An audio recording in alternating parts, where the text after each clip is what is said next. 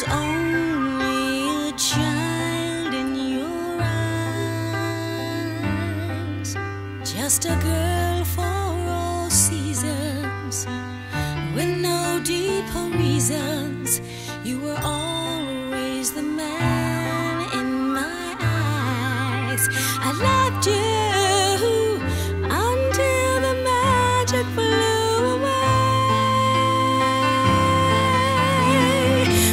should you think?